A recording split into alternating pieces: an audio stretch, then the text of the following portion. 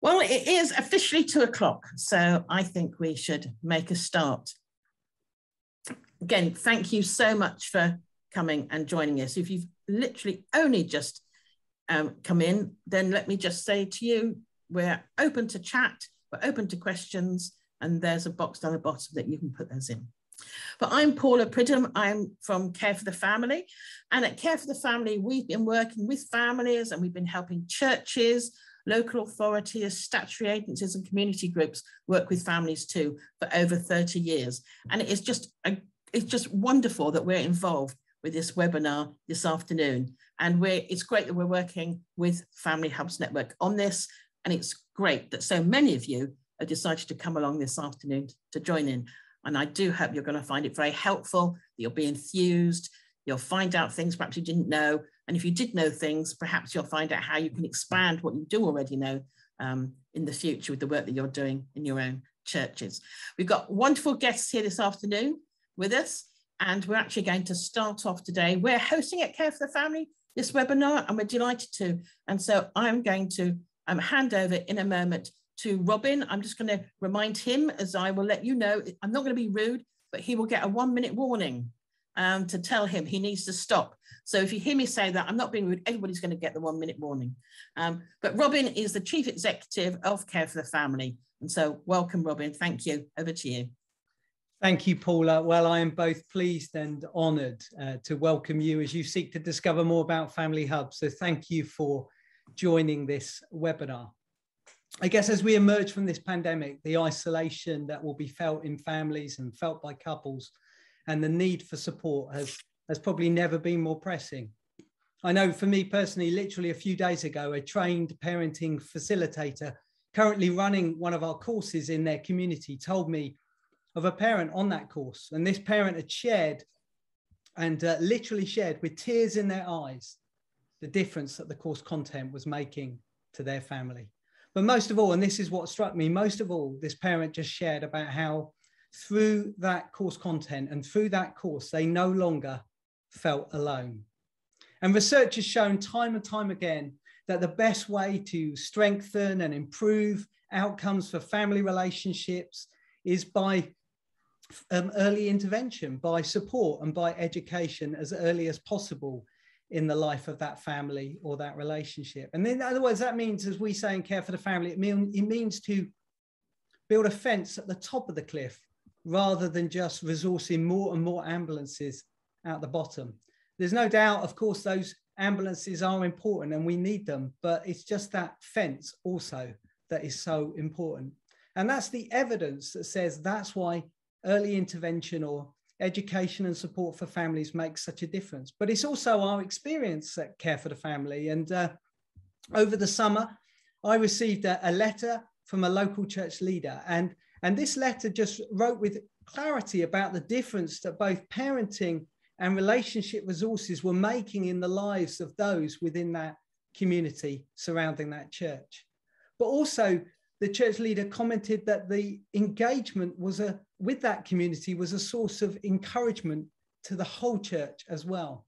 And so it's been our privilege for the past um, three decades to train, resource, and support such Christians and churches to make a real lasting difference in the lives of all kinds of families and within all kinds of communities. And today, I hope that you will grasp a little bit of a vision for that. You will hear not just that the local authority and the public sector are open to work with churches and Christian organizations, but they they are really keen to work with us. And so I hope you go away from this encouraged and informed.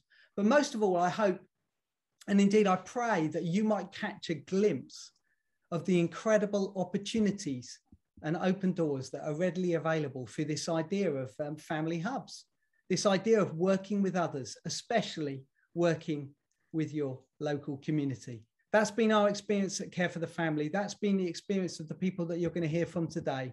And I genuinely hope you're able to catch that glimpse. These are the kind of opportunities and open doors that would enable us as churches and Christians and Christian organizations to not only be a force for the gospel where we live, but also a force for good. And I hope that you will discover that is what is before us. So enjoy your time on this webinar. Thank you for being with us. And thank you, Paula, for allowing me to make that welcome. Thank you, Robin. And Robin, you didn't even need your one minute reminder. So thank you very much for that. So um, as we say, Care for the Family are hosting, but this webinar is actually the webinar of the Family Hubs Network. And so I'm delighted now to introduce you to Catherine Barker, who's Head of Development at Family Hubs Network. And she's going to unpack all about Family Hubs, how they've come about, and also what that means for the church. Catherine, lovely to see you. Thank you, Paula, and thank you, Robin. We are so grateful to Care for the Family for hosting today's webinar and giving us this great opportunity to talk to so many of you about Family Hubs. So first off, I'll give you a few words about the Family Hubs Network, because you probably haven't heard of us, but you may well have heard of Samantha Callan. She is, as well as co-founder of the Family Hubs Network, she's also a trustee of Care for the Family, and she's parliamentary advisor to Lord Farmer. Together, Samantha and Lord Farmer have worked tirelessly to develop policy at national and local level to ensure families, and particularly vulnerable and disadvantaged families, have better lives. To do this, families need the right help at the right time to get through challenges and have better outcomes and a better future. So I'm going to start by telling you a little bit about the history here. Family hubs are at the heart of this mission because they bring together people, places, and services in a community to work together to help families in need. Samantha and Lord Farmer founded the Family Hubs Network to campaign for this approach to become government policy so that every community has a family hub. So to cut a long, long political story very short, at the end of 2020, while interestingly we were still in the depths of the pandemic, the Department of Education announced that family hubs policy would be rolled out across England. Next slide, please it's interesting because the pandemic actually played an unexpected part. I expect everyone on this webinar is aware that many churches stepped up during this challenging time. They reached out, cared, helped, they made a difference. And churches have demonstrated in the last 18 months, beyond any shred of doubt, that their role in the community is needed and that they can make a massive difference. At the same time, those working in local authorities were under a lot of pressure. Overnight, the services they knew many families relied on shut down. They couldn't reach vulnerable families. They felt completely helpless. But like so many churches, many local authorities began to think creatively. They reached out in new ways and forged new relationships to ensure that vulnerable families got what they needed. As one local authority employee put it, we tore up the rulebook. Why would we go back? So in that sense, the pandemic was liberating. And we have the opportunity now to build on those new partnerships, that new way of working. Perhaps you're keen to build on what your church has achieved, or perhaps you're feeling exhausted. Perhaps you're here because you feel you should be rather than you really want to be. If that's the case, I really hope we can inspire you today. So what does that experience in the pandemic have to do with family hubs? Family hubs at their heart are about partnership, about working together to achieve shared goals. So right now there are 152 local authority areas in England where staff are either running family hubs already or developing them. It's a new beginning for how we look after families in our communities and churches have a really crucial role to play. Next slide, please. Family hubs, in a nutshell, they are networks of people and places within a community working together to reach and support families who need help. Families can access help at family hubs, which can come in all shapes and sizes. As you can see on this chart, they can include public buildings such as converted children's centres, buildings within school grounds or libraries, and buildings run by the voluntary sector, such as churches, mosques and community halls, what they have in common is easy access, a warm welcome from staff who know not only about what's available in the hub, but have an extensive knowledge of the other people and places in that network, in the community. Within the network are other places which are not delivering the same high level of access, staffing, and detailed knowledge, but are equally important because of what they offer to families in terms of activities, relationship, and support, and therefore playing an absolutely essential part of the network. The connectedness is key. and ensuring that churches are part of these networks is one of the main reasons we're here today. Slide four. Connectedness is just the start though. Working to a family hub model is about applying nine principles, which I think, to be honest, will make a lot of common sense to churches. The first three are implicit in what I've said already. One, access. Two, early help. Three, for all families. When we say early help, what we mean is helping families when problems emerge to solve them or at least stopping things getting worse. It's about prevention, as Robin was saying earlier. All of us who are passionate about helping children have the best life chances know that early help can make a huge difference. And all nine principles contribute to ensuring that families get the right help in the right way at the right time. For many vulnerable families, raising children is challenging from the very get go. So, early years support from conception up to five is an absolute must. But every parent needs to be able to access help and support. This spans from the essential health services like antenatal care and baby checks through to parenting support, so activities for babies and preschoolers, parenting programs, childcare, to addressing families' wilder, wide, wider needs, including employment, training, and welfare support. Which brings me to the next principle, a relational culture. And this one is so big as to why churches need to be involved, because churches get this. When families are distressed, they need to be able to access help really easily and comfortably. Family hubs are about a relational culture where the people in the hub are focused on being welcoming, ready to engage, and not being done with that person until they're sure they're being safely supported. Often that's about being very aware that the presenting problem may not be the core problem. It may be that mum turns up and says, I'm really struggling with my eight year old. And one might think, right, great, uh, we'll get them on a parenting course. But it's not that. It's about talking a bit more and finding out that mum's recently separated from her partner or lost her job or is experiencing depression by taking this more relational approach, families can get the right help and be helped to access it with warm referrals. By that, I mean, such as making a phone call on someone's behalf or actually going with them to the place where they can get the help they need, not just signposting. You'll notice I mentioned a relationship crisis in that scenario. Apart from early years support, relationship support is the only service we specify in the principles of family hubs because it's so very important. Often relationship conflict or unhappiness is central to a family's problems, and yet those around the family can be reluctant to raise the subject and suggest couple relationship support. And yet, if we don't help a couple to improve their relationship, or if separated, co-parent better, then the negative impact upon children will continue and other problems are more likely to arise. To normalise and champion couple relationship support those working with families need to be proactive and talk about it with empathy and confidence. A whole family approach is the next principle, and it makes sense following on from what I've said. Struggling families often face multiple challenges, and we need to support the whole family in a holistic way rather than address a list of problems intervention by intervention. Working together in an integrated way is the glue which ensures that organisations work well together to ensure that all families get a seamless, fully empathetic and non-stigmatizing experience. This means sharing information and shared goals. While local authorities can internally work more efficiently to this end, their and our ambitions to help families can only really be fulfilled if the voluntary sector and community is included. So looking across those principles, we can see exactly why churches have such a strong role to play. Reaching and supporting families is, for many, core to their mission. They're welcoming, relational, non-stigmatizing, they cherish relationship, and they seek to be at the heart of their community.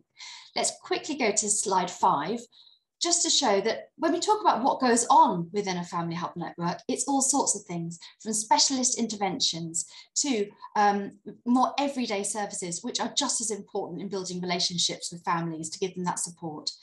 And I, I hope that when you think about the kind of things that I've got pictured here, there's something there that your church is probably doing already. There are probably some more um, um, specialist interventions, more demanding uh, ministries that you might be thinking about doing. But the point is every church has a role to play. So next slide, what next? Family hub networks of support are being developed everywhere.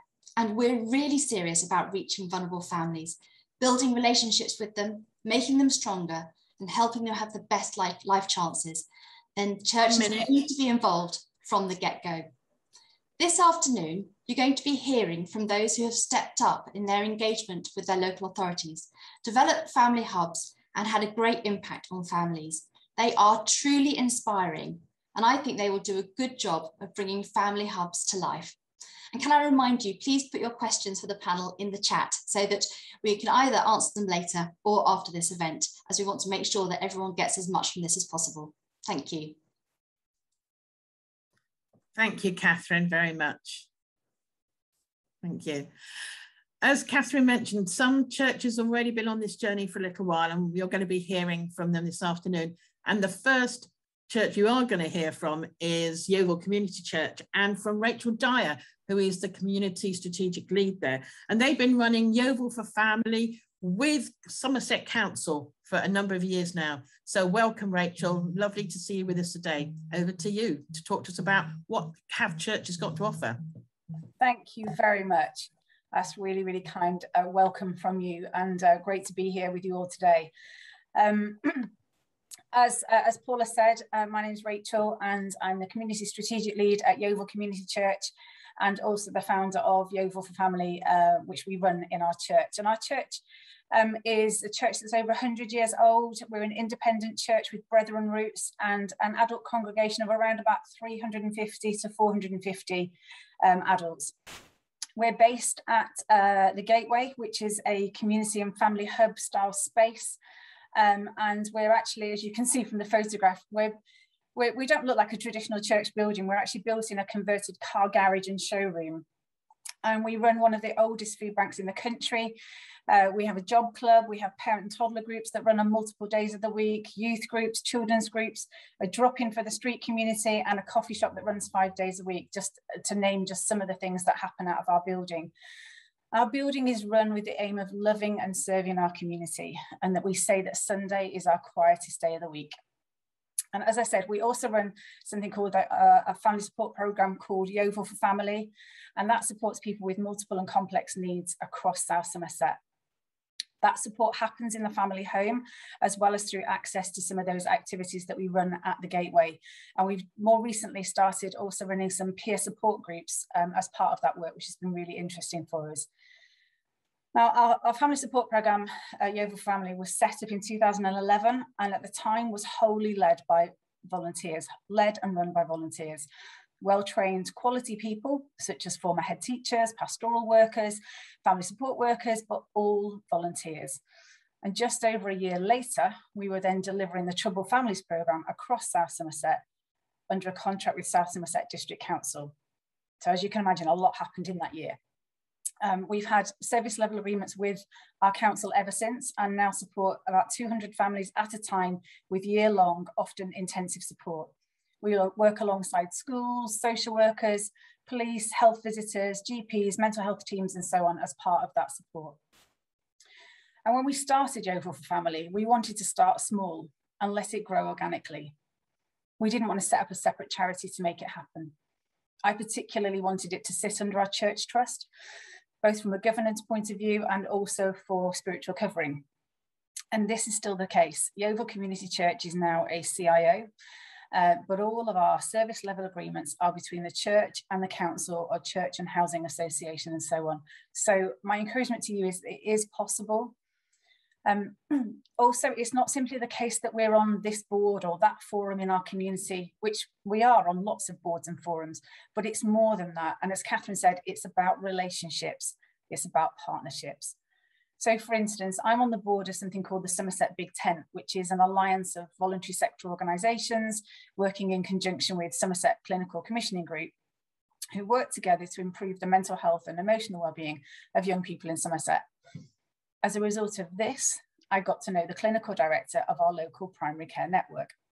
In turn, this led to more community working together, which led to then our local primary care network approaching us to be the vaccine centre for COVID vaccines. And we've been vaccinating people almost every day since the 18th of December 2020. Now, I don't know the first thing about health. That's not my background, but I do know about people. I know about caring for a hurting community. I know about blessing others with what we've been blessed with. I know about generosity and I know about hope and we had a large space that we weren't using for church at the time because church had gone online. so um, I think what that helped us to do was to, to sort of open up the doors. What that then led to was um, us hosting a, a drop-in vaccine space so that our street community and sex workers could also get the COVID vaccine. This then led to a weekly drop-in for our street community and for those that were without homes where they can access breakfast, play musical instruments or play board games, explore creativity or just sit with a cup of tea. At the same time, they can also see a GP or an occupational therapist or a counsellor, all because we said yes to our space being used for vaccines. So my question to you is, what do you have in your hands? As churches, sometimes we can have many barriers, barriers that we might not always realise that we have. For some churches, the desire to get bums on seats can be a big driver to any social action work or our desire to reach the community. And this can make our public sector colleagues nervous. They might feel that we would take advantage of people's vulnerabilities. And whilst there were some probing questions and at, at times hostile conversations in steering group meetings with council staff teams, this ultimately wasn't so much of a barrier for us. Our barriers were more along the lines of will we lose control if we go into a partnership? Will we lose our identity? Will we still be able to pray about which mentors we match with which families? Will it simply be too much work? Will we end up being dictated to by someone else's reporting or data requirements?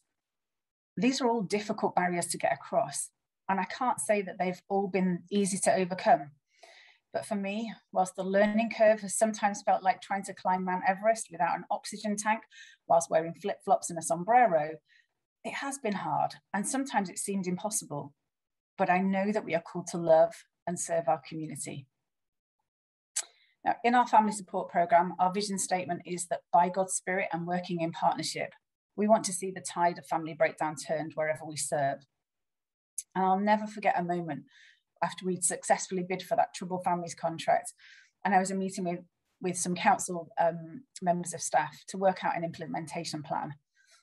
And I felt like there were so many things that we needed to consider from a risk register to a better computer system than the one that we had, staff recruitment timelines, to name just a few things. And I sat in our coffee shop with uh, one of the council managers thinking, oh, this is all too much. Like, what have we agreed to? And I really felt God say to me really clearly in sort of neon lights. He showed me the word in my mind, the word partnership, neon lights. And I felt God say to me, Rachel, if this isn't partnership, then what is? And that really helped me. It helped us to see the bigger picture of what we were being called into. And in that same meeting, someone from the council said, Look, we know that you pray about which mentors you're going to match with which families. So please, can you make sure that you don't write that in your project plan? But keep doing the praying thing because we know that that's a good thing, but just don't write it down. And, and I think sometimes we just need to listen to each other and be willing to try to understand each other better. Because what they were effectively saying was that there are things that, that make things tricky for a council, but that they understand the importance and the value of them.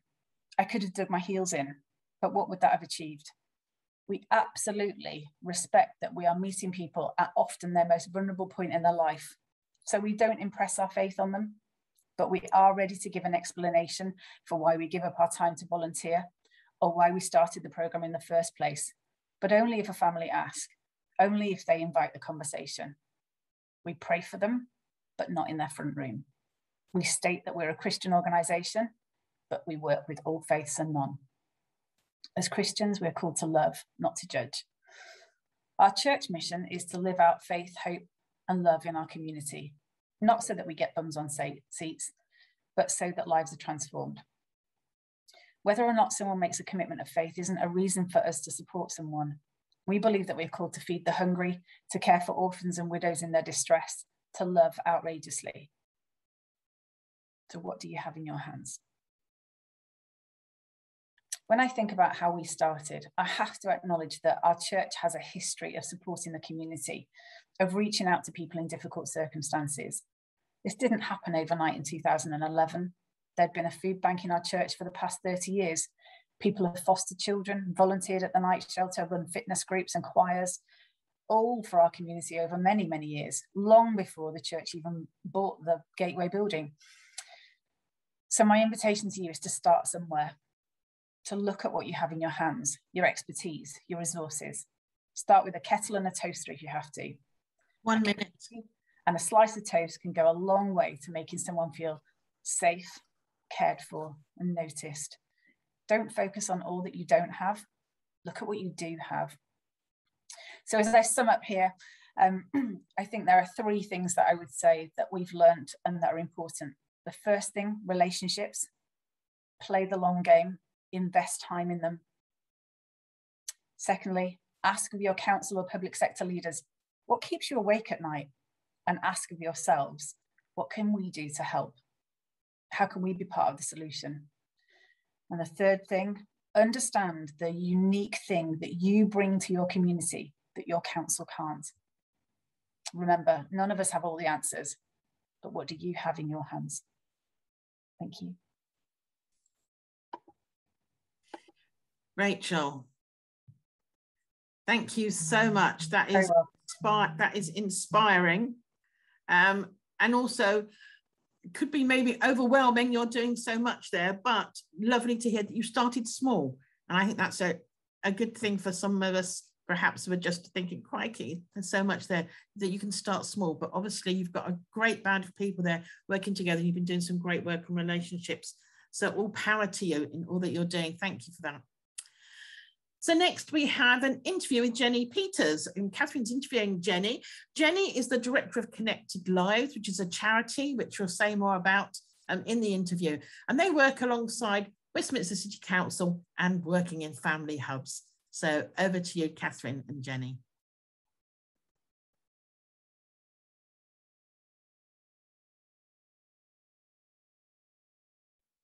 Jenny, thank you so much for taking the time to talk to us today. Um, I wonder if you could start off telling me a little bit about what you do, your role and um, who you work for absolutely. It's lovely to be with you.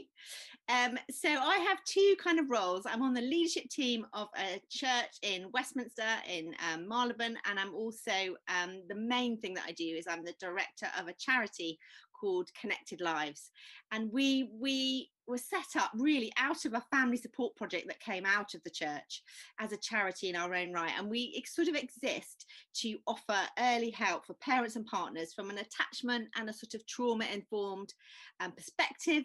We have two hubs at the moment, one in Northwest London, one in Cambridgeshire, and we're like looking for committed partners to sort of build a network really.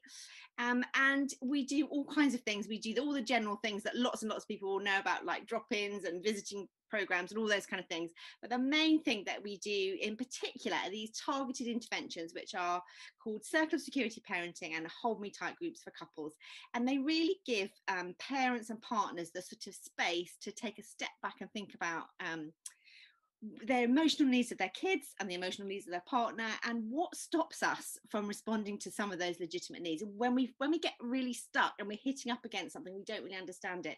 So we want to give all people kind of no matter their background and no matter their history the sort of opportunity to um, reflect and make changes if they need to. And we do that in conjunction with westminster. So we work really closely with the perinatal mental health team and the west the north westminster family hub. So i'm on the um, integrated leadership team of the Family Hub. So we meet every other week and to just try and work in a really joined up manner, I suppose. Mm. Well, that sounds like really, really valuable work. Uh, how did you get involved with working with Westminster Council?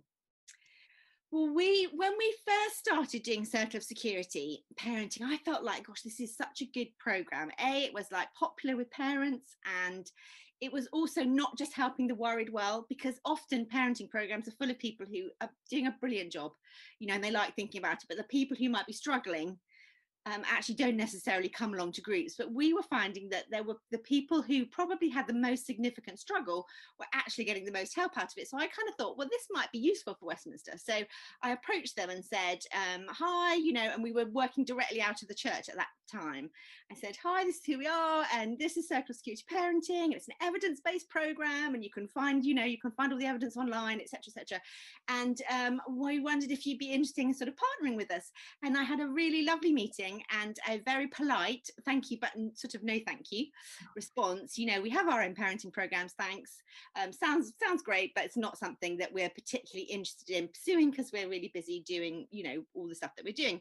And I do think for churches, we need to appreciate that local authorities are, you know, they have a huge responsibility in terms of the families they're working with, they're vulnerable families. They need to trust us, and it's not a given that you know here you are you're from a local church. Okay i was i was a child protection social worker but you know it's kind of like well we don't really know you. So they there is a level of trust that we sort of have to build up.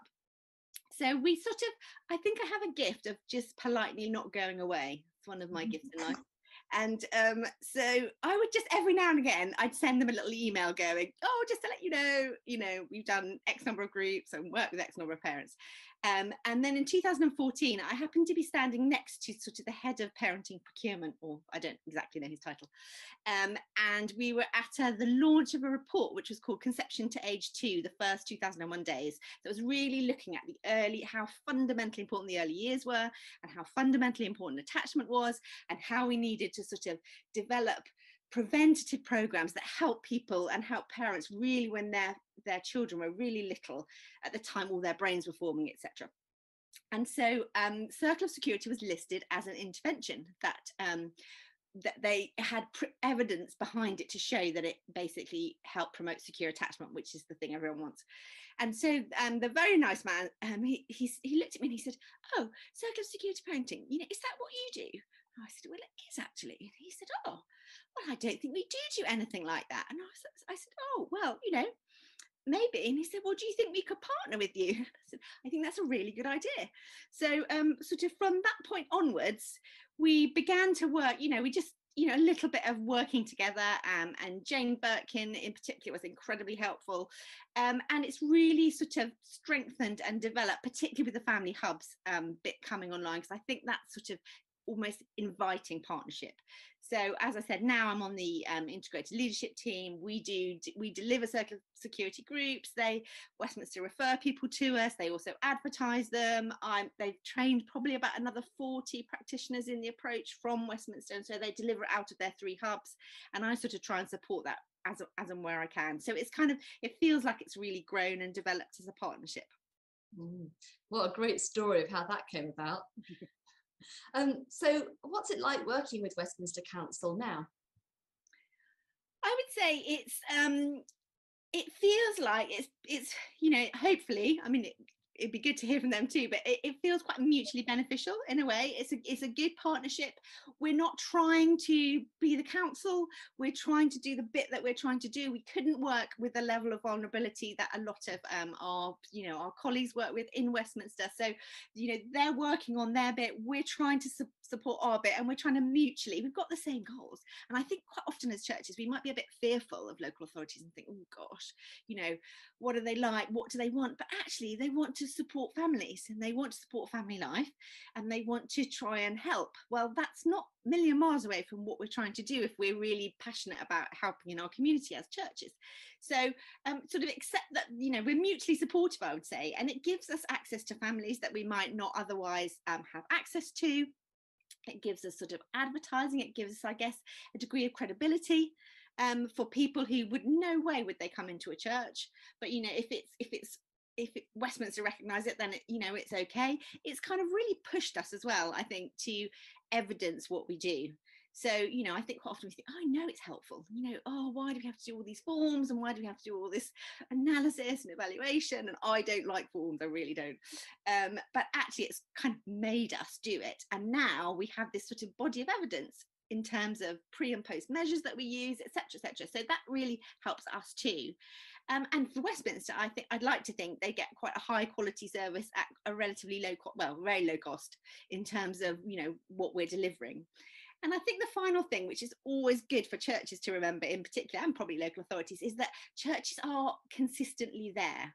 So we've, as I said, we're setting up a hub in Cambridgeshire, and I wasn't quite sure how much to mention the church connection, just because you're never quite sure of the territory um, and the level of, you know, whether whether people are going to think that's a good thing or a bad thing.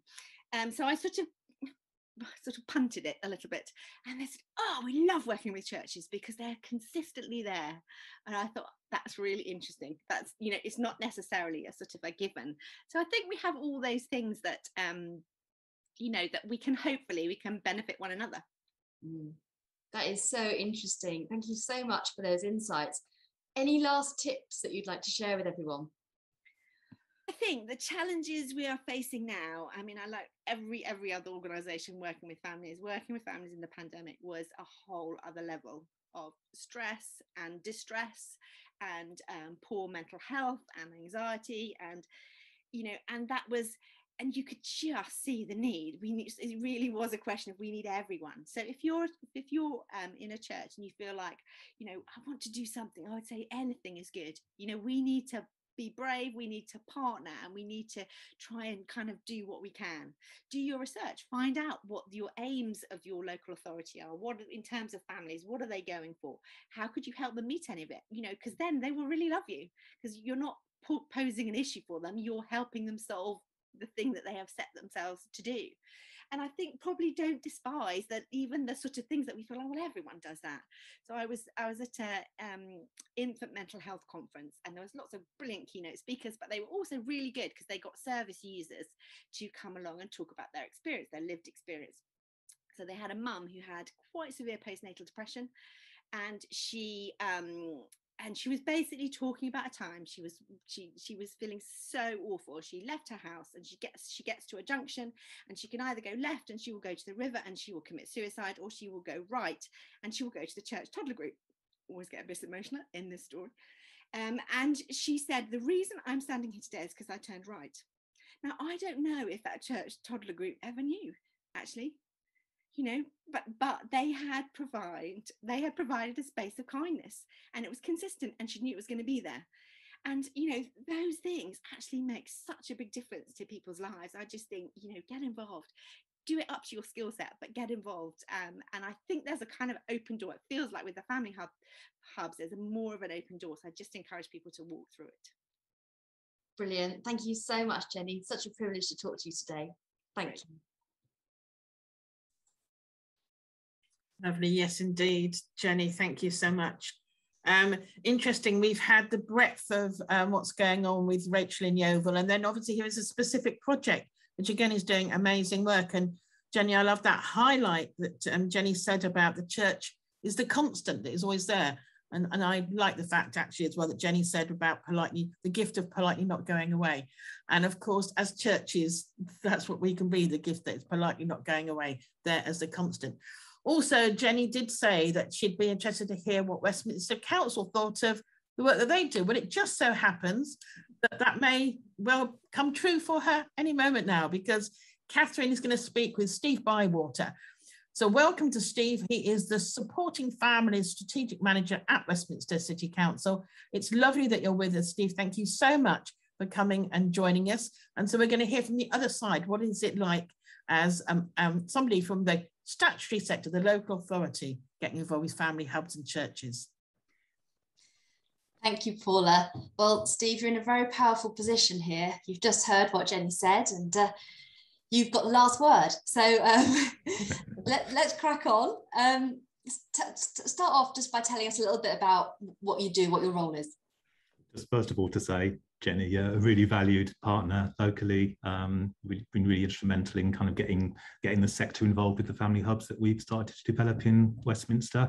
And um, I might actually mention later on a, a, bit of work that I've been doing with her recently, which um, really valued her support with. It's not very interesting, but quite important.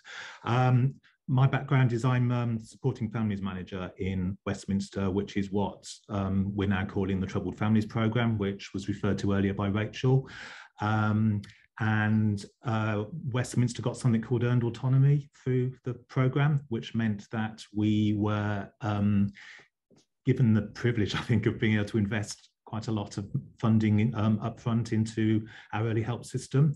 And one of the main vehicles we, we used for that was our Family Hub program, which we've had um, developing probably since around 2016, but the actual buildings and entities since 2018. Um, so that's broadly where I've come from. Um, I should probably say a bit more about that, that investment. So what we spent some of the funding on was um, some training, a workforce development program, which um, was a really helpful thing, I think, for us to kind of get a range of different practitioners, similar sort of skill bases, um, but also to get partners um, involved with what we were doing. Um, we had ready-made partners in a way out there um, that we already had good relationships with, but this was something else to offer to them. Um, and also develop some roles as well. Um, we got a role of, a family navigator, which is based in all of our hubs, um, doing initial direct work with families, again with partners and sort of linking them into that. Brilliant. Tell me a bit more about Bessborough Family Hub, because I know that's your first one. And I think because we started with the Yeovil Family Hub, run by church, it's really helpful to everyone if you can tell us a bit what, what uh, about what a local authority run looks like. Okay. Uh, well, Bessborough is based in Pimlico, which people might know, right, right next to the tube station. Um, it's an old um, maternity building. It's got the old inscription from about 1930, I think, on the front. But um, it's sort of housed a range of different um, professionals over the years. Um, but with the development of the Family Hub, we brought the Children's Centre function, which was previously in a school, up a set of stairs down the road um, into the building, so that's more accessible.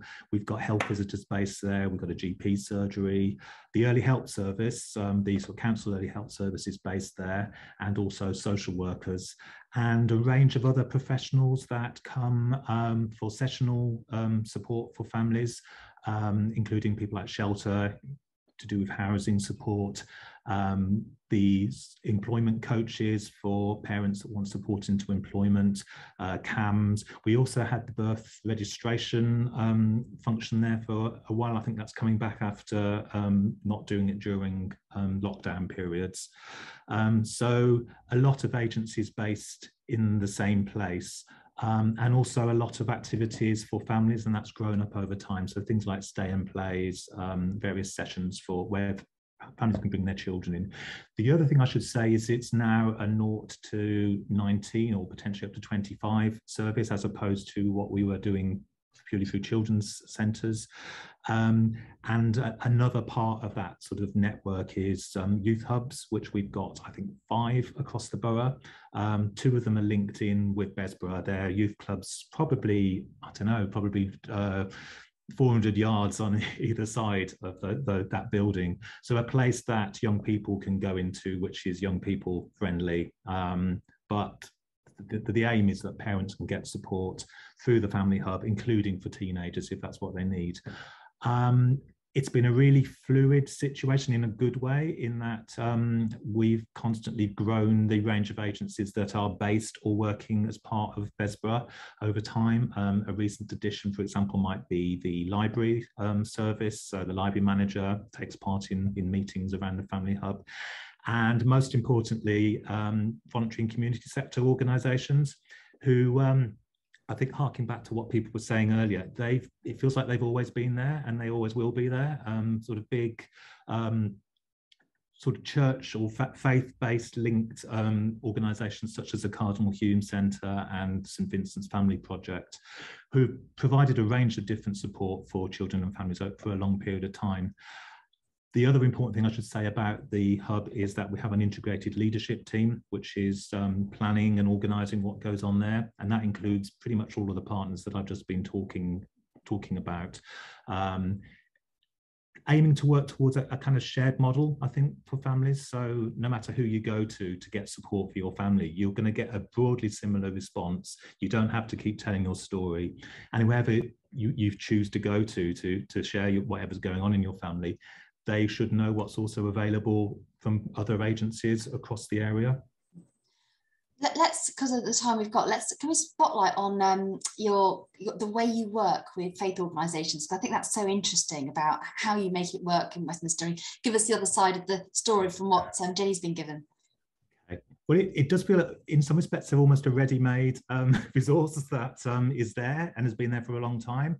Um, I, th I, think it's fair to say that we had pretty good relationships with them before we started to think about family hubs. Um, and a feel feeling that they were connecting with people that we weren't. Um, so Cardinal Hume works particularly, I think it started off focusing particularly on um, homeless people, um, homeless adults, but has increasingly thought about families that are in either at risk of homelessness or um, or just in poor quality accommodation and trying to work with them to improve that situation. And that's kind of grown out into a more um, a kind of family support service. Um, and they're based, yeah, probably, um, I don't know, 10 minute walk away from the family hub. And then St. Vincent's, um, similarly, in a way, that's in the Central Methodist Hall, which is just over the road from Parliament, working with families, providing family support. Um, and also sort of therapeutic support for families as well. And I think it was um, it's it's probably a mixture of um, existing relationships that we've had with them, but also the aim to do things more together going forward. And the, the real strength of this, I think, is that they are they are in contact with people that we're not. We want interventions to be as early as possible. We want them to be provided by people that families trust and want to go and talk to.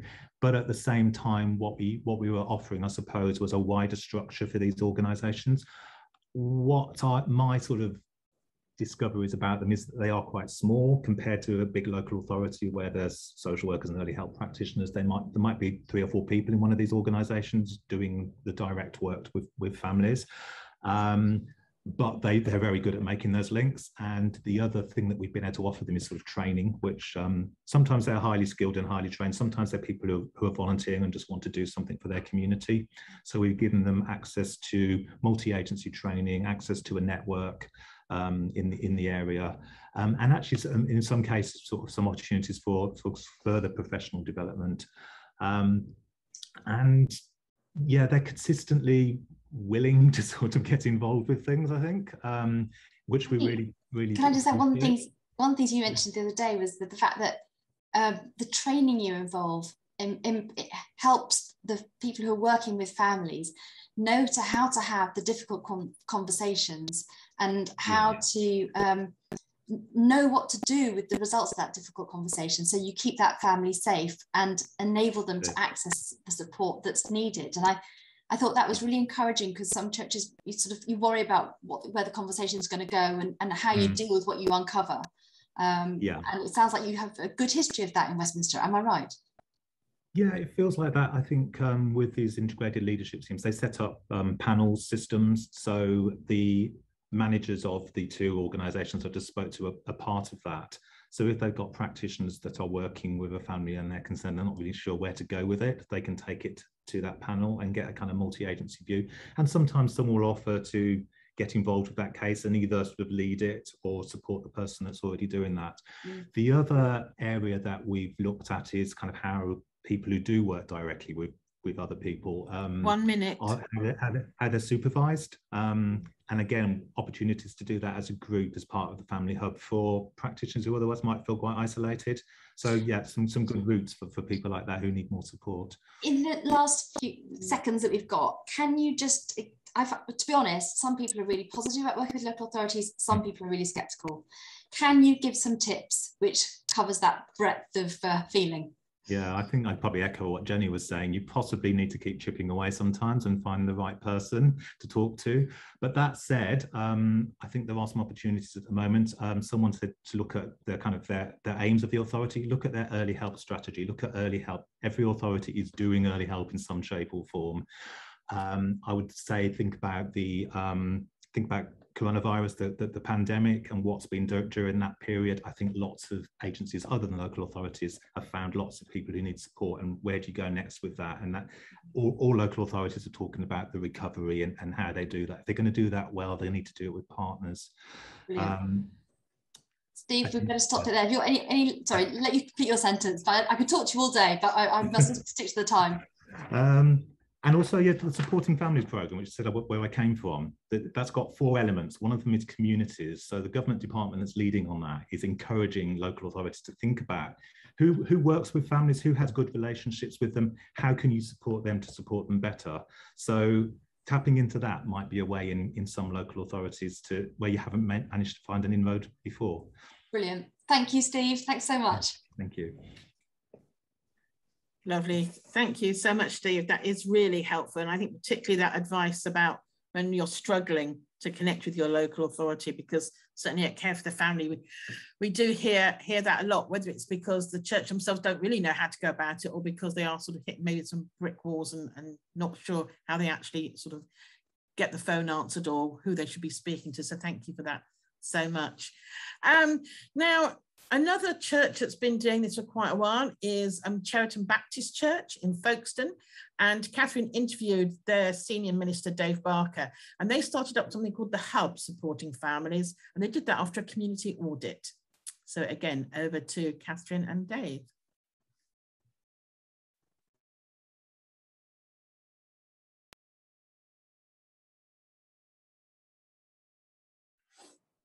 Dave, thank you so much for talking to me today. I wondered if you could start just by telling me a bit about yourself. Yeah, I'm Dave Barker. I'm based right near the Channel Tunnel in Folkestone, Kent, married to Karen, and have two amazing girls and five amazing grandkiddies, which is a real privilege. Um, I'm a pastor at Cheriton Baptist Church, and I'm also a paddle sport coach. Um, and I love the world of paddle sport. And one of my key passions is to see community transformation. Fantastic. Uh, you so you've started the hub in, uh, in in Folkestone. I mean, how does it serve families in your community? Well, how it serves the community is that we first of all listened to what we felt there were gaps in the community.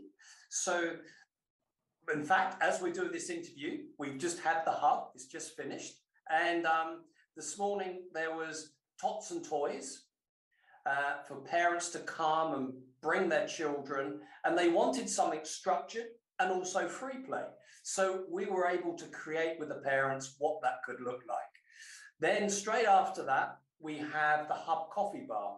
And at the Hub Coffee Bar, we have people that are trained to as good listeners, people to pray, if people would love us to pray into situations for them. But also, we run parenting courses, well-being courses, and things like that. And every every sort of like six to eight weeks, term time-ish, we actually have a different menu that we send out to our local schools, our local authority, and our community Facebook pages so that people can come. But all the time we're listening to what are the needs, and we put the best we can various things on to address those needs. Mm. I mean, you mentioned the local authority there. I mean, thinking specifically about them, how do you work with them and, and how does that make your ministry more effective? I think for us, it's to work with the local authority um, out of relationship and a real heart to support. We often go into our council chambers and pray and worship uh, because we really believe that is something we can offer from a spiritual perspective and then just to make ourselves available to serve our local authority as we expect them to serve us. So we found it, it needed to be a partnership. So it came out of relationship over a period of time. And we've listened to what they felt was really needed, like listening hubs, hubs where people can come for signposting. And really, we've adopted some of that in our listening to our local authority and began to put those on and our local authority uh, is really quite pleased to partner with that. And we involve them in as much as we can and let them know all that we're doing and for them to have input. Yeah, that's interesting. But it does sound like a lot of work. I mean, what's been the impact on your church family? I think for us, it, it was one of our key values. We really wanted to, what would help bring community transformation? And what part do we play? So everything like the hub, we take the church on a journey. Not everyone's going to be involved, but everyone can pray. It's like we've had a whole army of people making cakes uh, to bring to the hub. We've got people, I can offer that. I can read stories to kids. I can do songs and, and things like that. So we what we do, we we take the church on a journey way before we've set it up so that we've got a groundswell of expectation. Um, we believe this is part of our vision and a part of our contribution to community transformation. Brilliant. Any tips for churches thinking of following in your footsteps? I think one of the things which we've learned, we, we were great at putting on events and things like that. um, and involving others. But we realized that it's far better to listen to the community, have conversation with community, and to really bring our faith into what the community is looking. It's like the tune that the community is whistling to, listen to that, and then bring your faith into that. And that's really what we've done with the hub is listened and we want to keep changing it. I think the, the difficulty for us churches, we can get stuck in a rut. Do you know what? We've always done the hub that way. No, we want to keep morphing, if you like. We want to be like that chrysalis that's going to slowly fly into a butterfly and change to be effective. So, yeah, I think it's going to keep changing. Dave, thank you so much. Wonderful to talk to you. Thank you. Ex excellent. Um, great ideas there from Dave. I mean, I love the idea of having this menu that they send out regularly to other organisations and the local authority, but also that key piece of wisdom, I think, about listening to the whistle of the community um, and finding out exactly what is needed and wanted rather than maybe going in with their own agenda. So very wise words there from, from Dave and great that he was able to, to do that interview for us. Um, now, the next person we've got speaking is Ian Soars. Ian is Managing Director of Fegans. If you don't know about Fegans, they're a charity they help um, young people with counselling, but they also have, they work on the mental health agenda as well and provide mental health support across the UK. And they also work alongside churches, helping churches work in family hubs. So Ian, over to you. I think you're going to help us sort of think about what we need to do if we want to get involved. Yeah, Ian, thanks so much for talking with us today. Um, can you start by telling us a little bit about yourself and and also just go straight into explaining the wonderful family hubs that Fegans runs in preschools. Uh, yeah, so um, uh, hopefully you can all hear me. Um, my name is Ian Soars, uh, Managing Director of Fegans. We're part of Spurgeon's now, we've just been acquired. Um, but Fegan, Fegan's speciality is, is family hubs, and, um, and we deliver that in partnership with schools and churches uh, across the southeast. Um, our main thing that we, we do in terms of services is we, as you just heard, uh, we counsel children. So children with suicidal ideation um, and uh, eating disorders, anxiety, depression, those sorts of things. And we counsel about 500 children every week, uh, predominantly in schools and churches. Uh, we also do parenting, and you'll find a common theme with Family Hubs is all about parents. Uh, why? Because if you get to the parents, uh, you know you can actually resolve a whole load of pain very quickly and often actually very cost effectively. Uh, the third thing we do, we have preschools. I'll come back to those in a moment uh, in obedience to you, Catherine. Uh, and then uh, the final thing is we have a big digital arm, which we might have time to talk about a bit later, where we take a lot of the expertise that we have and then we overlay it over every uh, all of our services.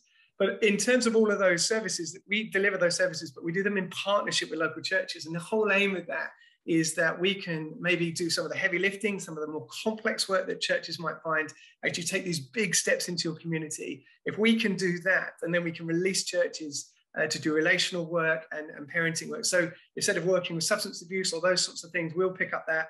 Uh, you, you, you, do uh, community space. In terms of the preschools, we have more than one model of family hub, and, and that's part, part of the joy of this conversation, and also part of the complexity is uh, all of us are always thinking, what is a family hub? And actually, it's a bit of a movable feast.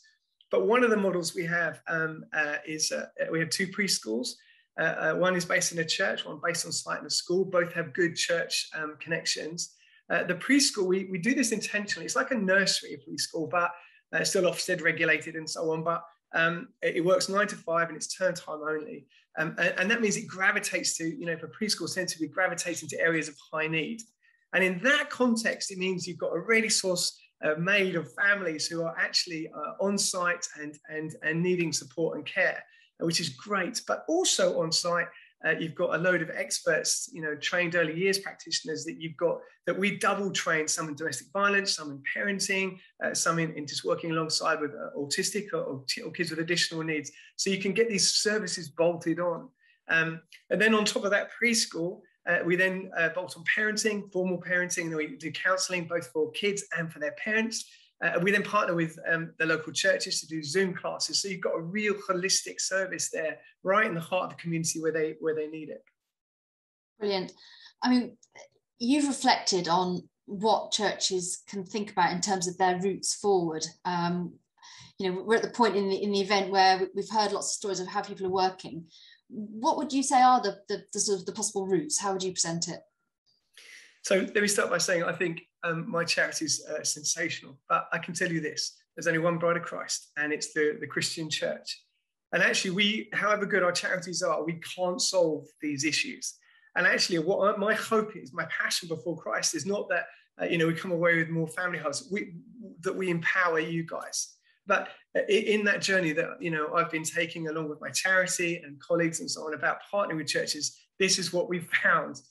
Um, and I'm going to just for today's sake, I'm going to wrap it up in who, why, what, when, where. And the first thing you've got to start off with is why. Why are you doing this? And for me, this is a theological question. Get your theology straight because actually when you do a family hub it can be really hard really hard work some of the things you will see and hear will be heartbreaking and there are many tears shed in anyone who's working in a family hub on a weekly basis but you might say well my theology is going to be based around i don't know um, the 10 commandments the second commandment to love your neighbor as yourself and we partner with a church that wants to give away half of its money it's nearly there so whatever it receives in income it then invests into its local community your theology and your why might be something about Revelations 21. We want to see the kingdom of heaven come here on earth. Your theology might be about um, uh, uh, religion, uh, faith without works is dead. And we actually, we really want to show that our faith is alive by doing works. Or it might be something as simple as um, uh, Deborah, uh, which is from Judges. And, and she said, uh, you know, there was village life had ceased until I, Deborah, a woman, a mother, arose, arose in, in Israel. And your theology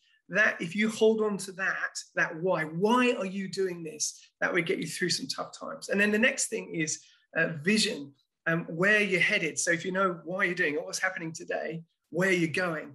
And, and actually a lot of people, again, vision might be something like, um, we want to be the hands and feet of God. We want when people see us, they want to know what our God is like. If they they look at the work we do, and you've heard time and time again from from incredible practitioners like Rachel and Jenny, and you're going to hear it from um, uh, Avril. It's all relationship.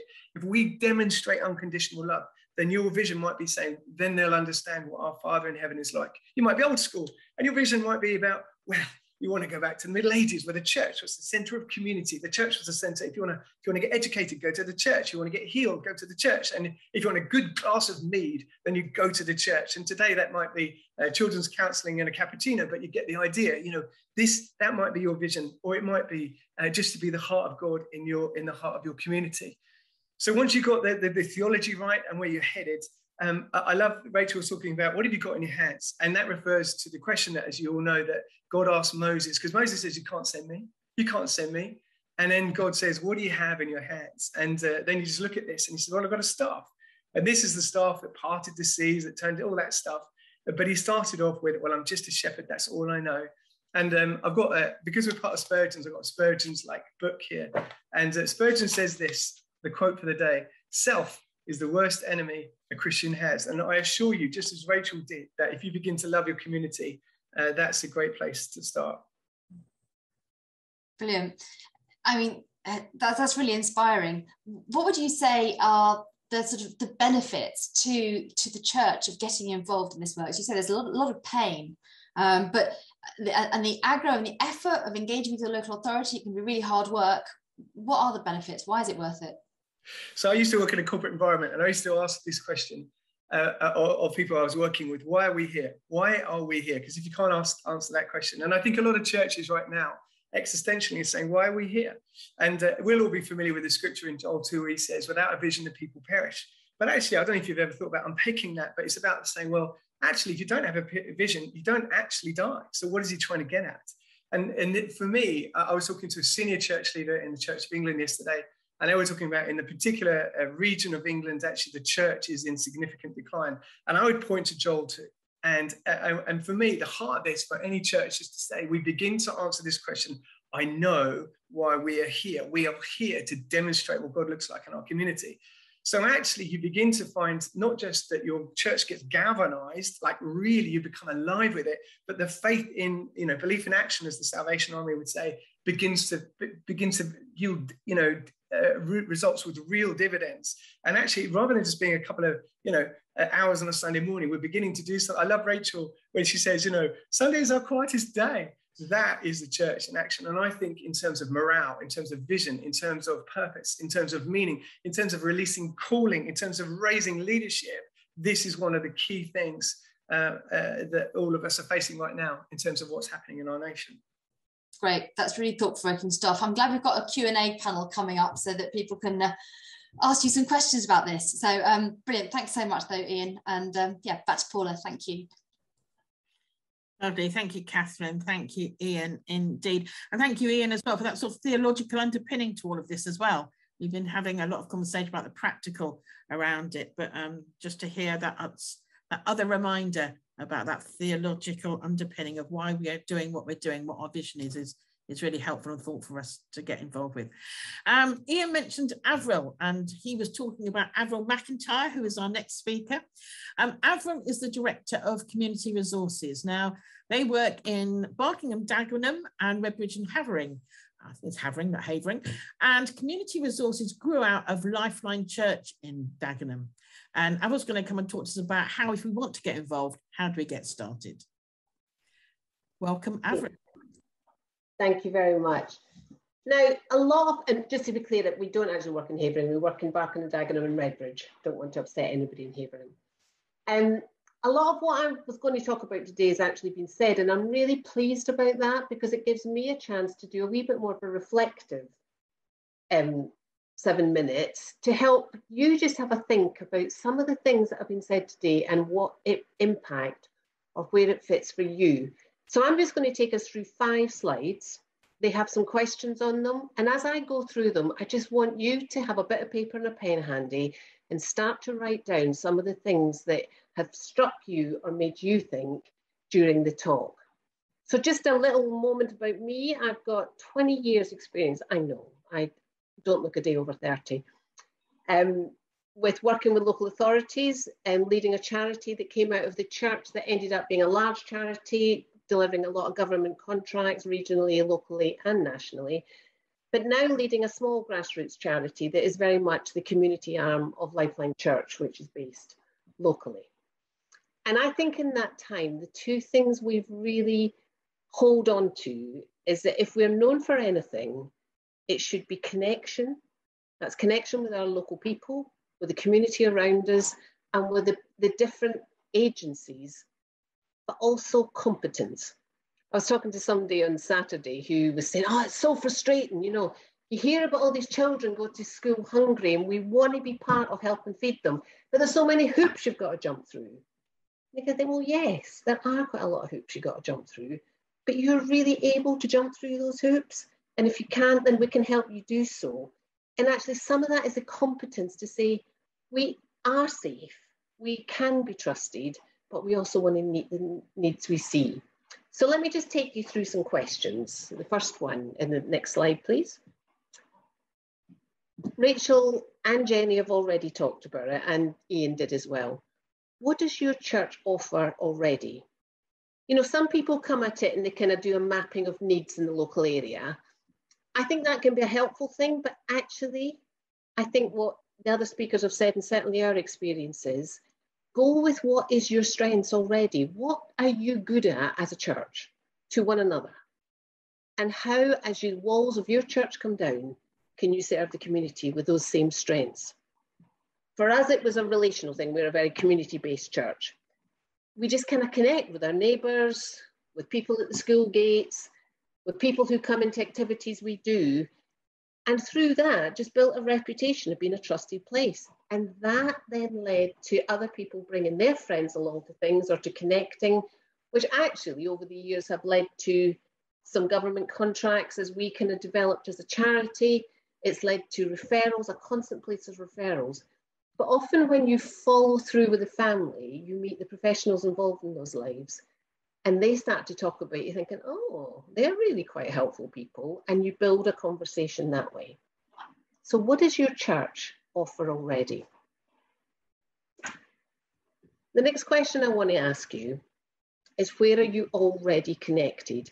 And people have asked in the chat about well, how do you get started? And Jenny and um, Steve were talking about sometimes you just have to find the right person. But we've always found that the first people that's most important to get to know are the people in your community. Because if you go into local authority and say, we want to do something, but you don't know anybody and you're not really doing very much already, it's a wee bit of a kind of clanging gong, really. But you'll have activities in your church already. So just think about who already connects in and who do they know and who might they know. And it's really interesting. I think the different speakers have said one thing leads to another. Who are your local councillors? Get to know them. Let them know what you're already doing and what you'd like to do. In your in our church, there's like a million teachers and social workers and foster parents. Give the church exposure to what they're doing, some of their challenges, some of their pressures, and you'll find that there's a real understanding of what is happening in the local area just with the people you're already connected with. So map who's in your church already and who do they know around. And then the next one is how can you get involved? And this might be for someone who's starting out at the very, very beginning, or it might be for someone who's already doing quite a lot of stuff and wants to move more into the formalized support of family hubs or family support in some way. But I think these points might just help wherever you're at in that. Get to know the key players. Don't wait for an invitation. Nobody's going to come to you. Get to know people. Find out who's already, if it's a family hub you're interested in, find out what's happening locally. Are there family hubs? Are there children's centres? What's going on in your locality? And I think many people have said before listen. Understand what's going on and listen to what people are saying read about the issues locally in your newspapers, on the online forums. I'm part of this um, horrific um, community Facebook which is the most horrific, traumatizing thing every day because it's so negative. But it's really insightful to hear what people are complaining about. Be part of the solution. I think people have said that before. It's so, so important to be part of the solution. If we just come up with more problems, it's exhausting for the local authorities. Have a think about what the issues are and think what you could do about them. And I think, as someone else said, and many people have said, connect in partnership. Many churches think, well, we can do it ourselves. And actually, we can't. None of us can do it ourselves, and the local authorities certainly can't do it themselves. We need partnership. So connect in with your local CVS, the Faith Forum, go to councillors' meetings, residents group, be open to partnership. And just in my final bit, and I'm sure there'll be lots of questions that come up in the chat of the many speakers who've done some incredible things today. And I think a number of the speakers have already said this as well. Understand your local authority. I think when Steve was talking, he was saying, like, take a look at the early help strategy on the local authorities website, there will be their strategic visions. There'll be their strategies and their policies and their next steps. Have a think about what you can offer into those things that are their pain. Talk with your local councillors and be ready to kind of brainstorm with them what could be done about it. One of the things at the moment, there's refugees from Afghanistan already in this country and probably going to be coming to your local area. Ask who they're going to be. What is the plan? What is the thinking? Is there a bridging hotel in your local authority? The pressure for local authorities on this is massive. But who better than the church to wrap around refugees, to get alongside people with bespoke offers of support to integrate them into our community? So that's a huge opportunity. Others talked about the post-COVID opportunities. You know, there are people around who are so isolated and disconnected, not necessarily in huge need and known to services just now. We met 400 people just in our locality who were totally isolated, but didn't have any services at all. Now we're supporting those people, getting to know them, befriending them, making calls, taking them places and the local authority have said, could you develop with us a social isolation policy and a strategy for how we do this with the other thousands of people that we met? Sorry, my phone's ringing, I'm just turning it off. And finally, I just want to say, as you get involved in things, be ready to talk about what you're doing. Make sure you keep it known. Find out where there are different committees and different groups that you can get involved in. Right across the local authority, they're looking for engagement. Through the CVS, through the Faith Forum, they're looking for proactive people who are not going anywhere, who are going to help them find solutions. And there are a few hundred people just even have engaged in this webinar today who are actually ready to be part of that solution. So consider how you can help, be proactive in that process and bring what you have in your hand to do right now. Thank you.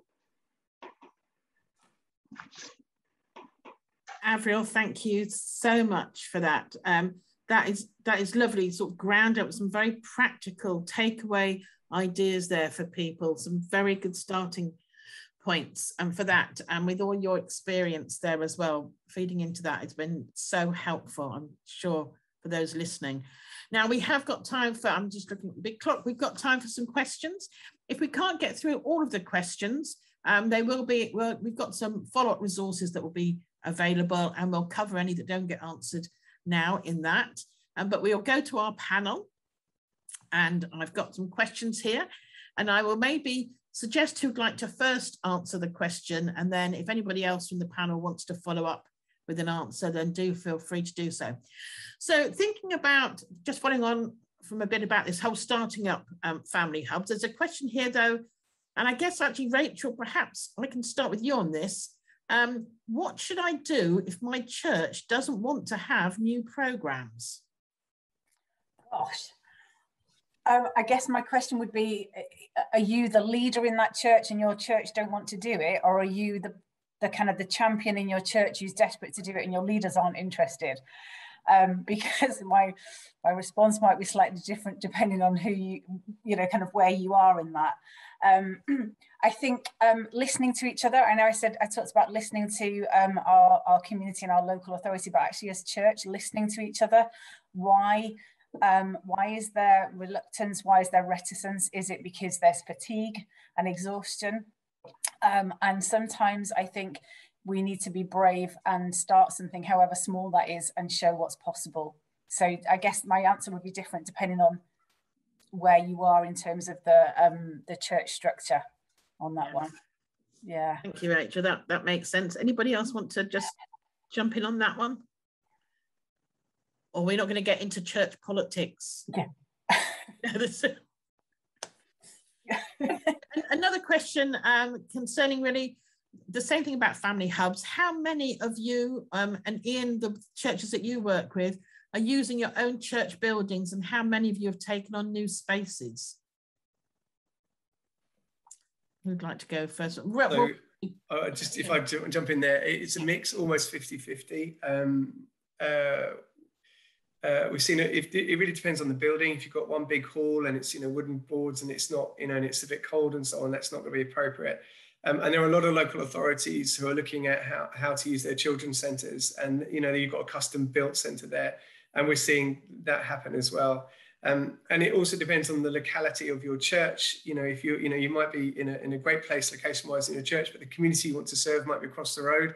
Uh, it's often best to go and find them. So we, we've seen a mix. Okay, thank you. Anybody else? I was just thinking um, what Rachel um, was saying about, you know, the space we have often we have, if we have churches we have space which we use intensely on a sunday but we've got all this space and i do think you know not every building obviously all of what ian says completely true but also it's like if you do have some space then that's a gift actually and you know otherwise it, it's just kind of sitting there um, and so let's if we're generous with space and we, if we then then we're helping and as soon as we're helping then we begin having conversations don't we and we're, we're more you know we're more we're trying to bless people really I mentioned something about space in the chat earlier, um, which has been a really sort of valuable resource. I think that we, we're sharing a lot more because of these relationships we've formed. So um, during the pandemic, um, one of the issues locally was families just being stuck at home in really overcrowded conditions sometimes, not able to take their children to school because schools weren't open. But so, so one of the partners just made their space, which previously was kind of a family space, available to individual families, so they could just go and have a bit of bit of time and, and to themselves in a, in a nice environment. Um, and then more generally, I think outside of the pandemic, that that sort of need for parents just to find ways to get together, in particularly in communities where people are coming and going quite a bit, where people are quite mobile the sort of thing you get at the school gates when your children start school and you get this kind of new community of parents that are in similar situations to yourself but if you can do that earlier with families just by making space available to them that i think that's a good way in um, and, and a resource that, that everyone's got in slightly different ways thank you, Steve. And, and actually, Steve, while you're there, a um, couple of questions about working with local authorities. I think which is a, which is a big thing for churches, particularly new new to it and not really knowing where to start. So what are some good routes into conversations with local councils if you're struggling? Um, I think as I, as I, mentioned earlier, the Supporting Families programme, so that's being sort of revamped a bit at the moment. Um, there's a question mark about what's going to happen in the future with it, subject to the spending review. But um, but that that's being sort of developed as kind of a whole system approach to providing help um, and every local authority is thinking about that and how they're going to take that forward. Um, each local authority's got someone like me who's got that role to coordinate it. Um, within reason I might be able to tell people who who to contact certainly in London um, for, for some of, some of those programs. The other thing I didn't say as well was local safeguarding children's partnerships as well who are really keen to kind of engage with faith communities, um, and obviously churches are a good vehicle for doing that. They they provide certainly provide training, and they might have parts of their safeguarding plan which which which are around that.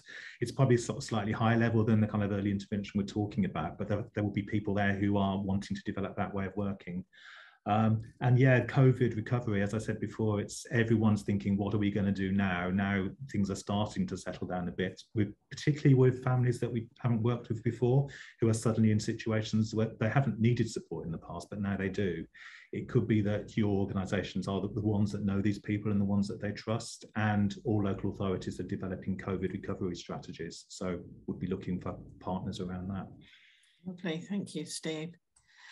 Um, and the, there's another question, and it's the other side of the coin in a bit, although it still impacts you, Steve, but perhaps um, with some of the others, with maybe Rachel or Ian or Avril, um, or Jenny, even how do you how do you move from being referred to from the statutory sector through to having contracts with the statutory sector?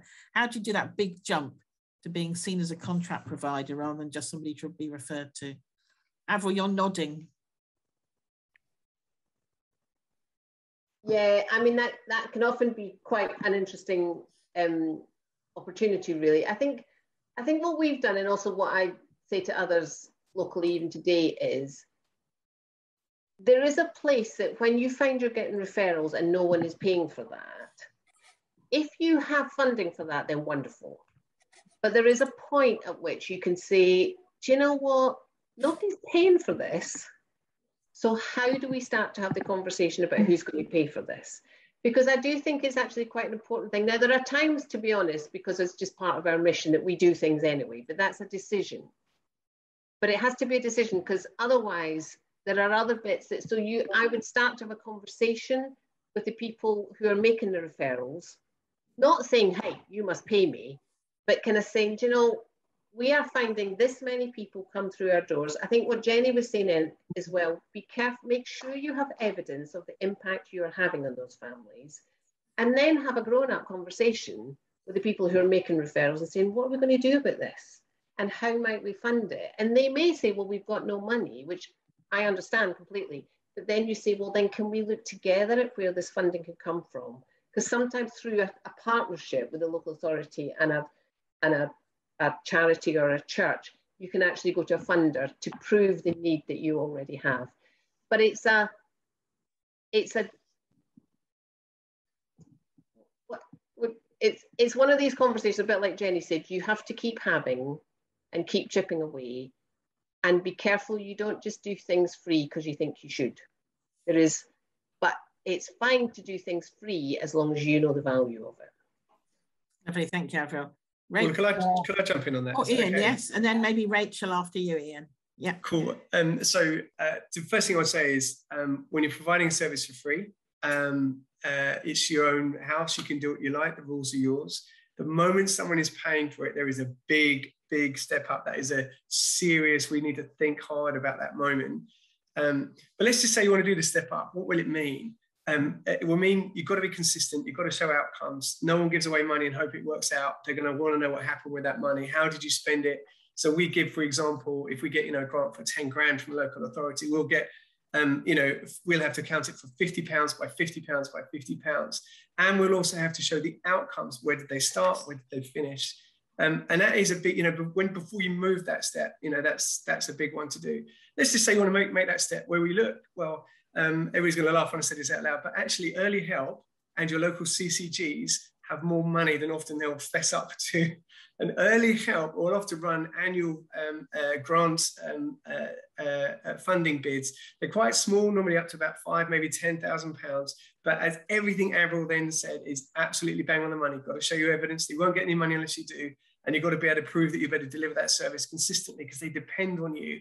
Um, CCGs uh, as well. How do you meet? How do you find out about this? Well, sometimes you have to go and find out who your local councillor is, and they will know, and they will tell you who that person is. But before you do that, you know, it's a, it's a deep breath moment because that is a big. That's a big transition. Mm. Lovely, Ian. Thank you. And Rachel, over to you. I think last comment now before we bring our webinar Sorry. to. Yeah, um, so firstly, I would say volunteering doesn't equal free. I think we need to acknowledge that, you know, that these things that, you know, there's, there's a cost, um, whether a monetary cost or a time cost, but there is a cost. Um, and so, you know, don't forget the value of that. Um, partnership doesn't always need to mean money is the other thing. Um, we can be in partnership because we're connecting together and we're learning together. Um, and I think for us, the way that we we first kind of like got into our journey but ended up in our first service level agreement was because we were doing some voluntary work in a, a very loose kind of connection with somebody in the council who then put us in touch with somebody else who put us in touch with somebody else. So you just never know where those connections might come from. But when you're doing what you're good at and um, and that's noticed and you're in those connections, then you know anything can happen and you know God does crazy things. Lovely, thank you, thank you so much. Well, we are drawing to a close now, final minutes of our time together. First of all, a, a big thank you to everybody who's joined us online for this webinar. Um, if you've got any more questions, just send them through. So I'll, I'll put Catherine on the spot, send them through to the Family Hubs Network, um, or you can contact us here at Care for the Family as well if we can help you in any way at all. Uh, there will be more resources going out to you. Thank you especially to all of our guest speakers today. Thank you so much for giving up your time giving us your wisdom, your enthusiasm, your energy, your insightfulness that has been so helpful. And, and, I've certainly learned a lot today. And also thank you to the Family Hubs Network, because they've been banging on about this to government for quite a long time now. And it's lovely to see finally policy has actually woken up to the beauty that can be found within Family Hubs Network and working collaboratively with all agencies together. So thank you very much. Have a good rest of your day and do keep in touch with us. Goodbye.